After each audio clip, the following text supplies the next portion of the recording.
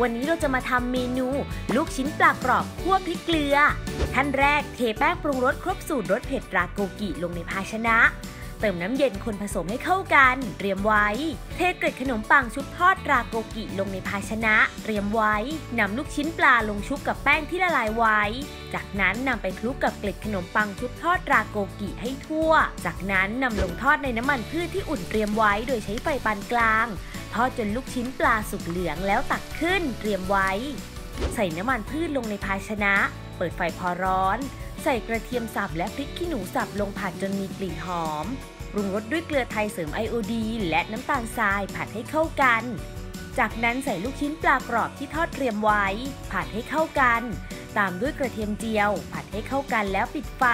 ตักลูกชิ้นปลากรอบคั่วพริกเกลือ ใส่จานเสิร์ฟโรยกระเทียมเจียว ตกแต่งด้วยพริกชี้ฟ้าซอย และช่อผักชี พร้อมรับประทานค่ะ